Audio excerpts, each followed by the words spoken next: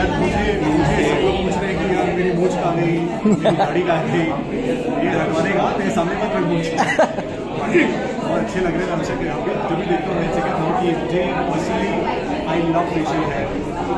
I love taking care of it पिछले दो ढाई सालों में जब से लॉकडाउन हुआ था, मुझे मौका मिला था कि मैं beard को grow करूँ। कहीं ना कहीं लोगों को beard बहुत पसंद है मतलब ऐसा है कि मेरे घर पे मेरी वाइफ जो है जब से कहती है कि यार वापस ग्रो करूँ लेकिन पता नहीं यार ये अच्छा लगता है कि दो ढाई साल दो दो ढाई सालों के बाद मौका मिला मुझे दो क्लीन थोड़ा स्किन का भी ध्यान रख सके इस बहाने और अगर किसी को लगा कि कोई अच्छा कैरेक्टर मुझे किसी को लगा या मुझे ऑफ़र हुआ ऐसे है है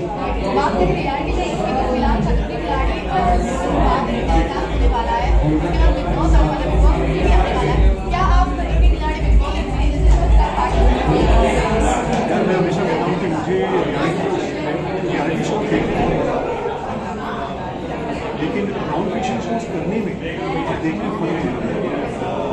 मुझे देखने में बहुत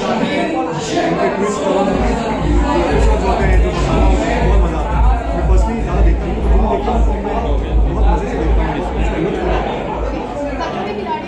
मुझे में अपने भी के ये जो यदि मौका मिला और कभी समय मिला। आपके बहुत